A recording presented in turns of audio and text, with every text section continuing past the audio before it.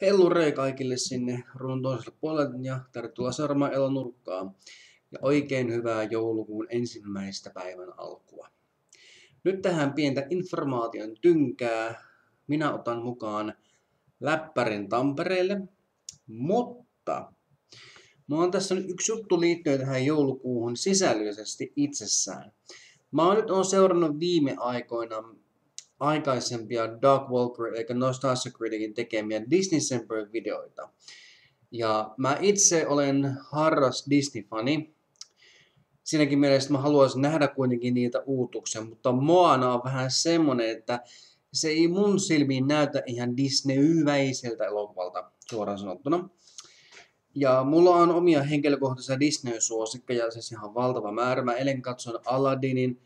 Nostalgiset kyynileet tirahtivat mun poskijuurille aina monta kertaa, kun mä kuulin Robin Williamsin äänen. Ja huom, mä oon nähnyt alkuperäisen version ensimmäistä kertaa eilen. Mä näin vaan Vesamatti ja tämän suomalaisen dubatun version ainoastaan joskus, varmaan joskus 12 vuotta sitten ja samana vuonna kun se ilmestyi. Eli tämä on pitkästä aikaa ensimmäistä kertaa, kun mä katson Aladdinin ja tämä oli alkuperäinen versio ja mun mielestä on huomattavasti hauskempi, parempi ja täytyy myöntää, alkuperäisversiot ovat huomattavasti parempia. Eli nyt kun mä en kuitenkaan lähde kopioimaan mitenkään no, Dark Walkerin työtä tässä Disney Semperin muodossa, vaan mä teen poikkeuksen. Jokainen kalenteri tästä päivästä 24 päivän asti on silkkaa Disneyltä. Ja mulla on tässä yksi pointti. Joku päivä mä arvostelen mun suosikki Disney-elokuvaa, mistä mä tykkään valtavasti. Siihen liittyy myöskin Pixarin elokuvat kanssa. Sekä että live actionit ja melkeinpä se on sitten siinä.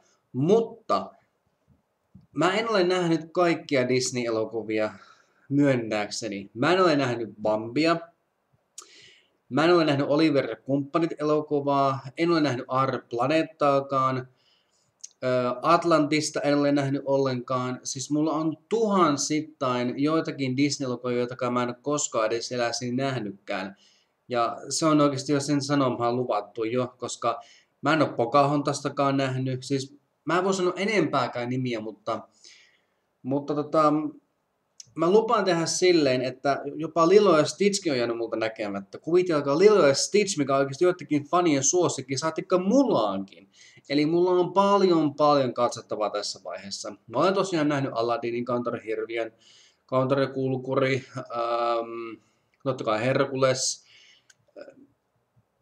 Siis lista on ihan laaja, mitä mä oon nähnyt Disneyllä tosiaan, mutta se mitä mä en nähnytkään, niin mä lupaan nekin arvostella ja katsoa.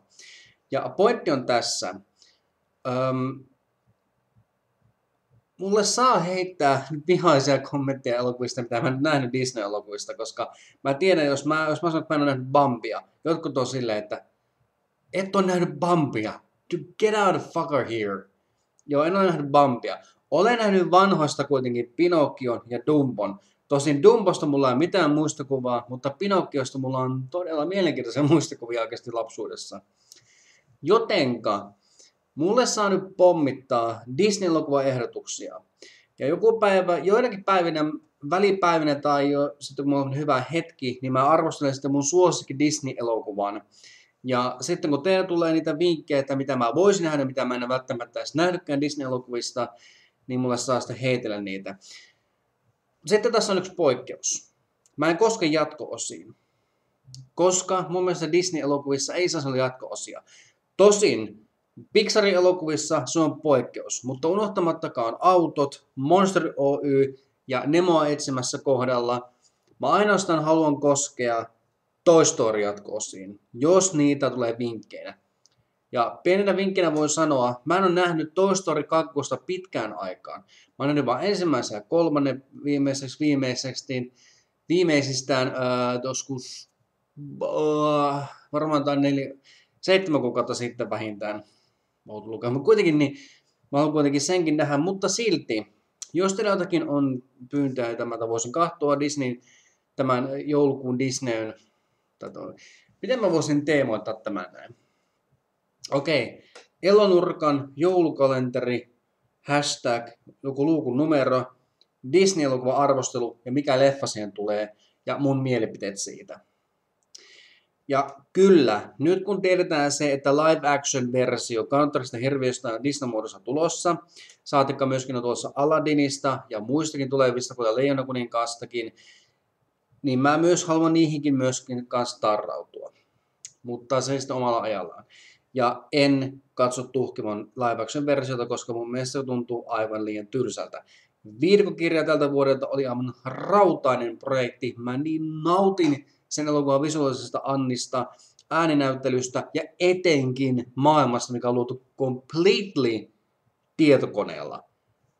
Unbelievably funny and clever adventure movie ever seen. Wow. Jotenka tämmönen teema on päällä. Heittäkää teidän ehdotuksianne. Mä jatkan pakkaamista. Mulla lähtee bussi about tunnin päästä. Please ihmiset, ihan mitä vaan. Mä teen tämän vain ainoastaan teidän takia, koska mä rakastan Disneytä. Siellä varmasti löytyy Disneyn tota, tykkääjiä aika paljon sieltä ruudun puolen. Tehdään tästä joulukuusta Disney minun kanavalle, koska Disneytä ei voi välttää millään tavalla. Ja jos lapsenmielisyys löytyy oikeasti päässä vielä, ja vielä on nostalgian henkeä ja haluaa oikeasti keskustella asiasta, minä tykkää jostakin leffoista Disneyn muodossa, it's time. Tämä on poikkeuksellinen luukku, koska mulla on käynyt tämmönen idea kävi läpi päässä, kun mä eilen katson Aladdinin. Ja sitten mä mietin sitä koko ajan, teenkö mä tämän homman, ja ajattelin, että kyllä teen. Ja nyt kun mä otan tietokoneen mukaan, tam, en sano minnekään, äh, Tammerkoskelle, tai Tammisaare, Tammisaare, no niin, Tammisaarelle lähdössä tällä hetkellä, niin lähden sinne suuntaan, niin Siinä tulee mukaan yksi yllätysvierailija varmaan. Hänen kanssaan me katsotaan varmaan Disney-elokuvaa kahdestaan. Ja annetaan sitten mielipide siitä. Joten mä haluan, että sekin myös toteutuu. Mutta varmaan loppuaikaisesti mä itse tein jonkun Disney-elokuvan arvostelun mielipiteeni. Ja kyllä, Frozenkin tulee kans mukaan. Mitä luultavammin. Joten tämä on tässä enempää sen pidempään vitti bamlata. Oikein hyvä joulukuun alkua kaikille. Let's make this channel a Disney. Morjens.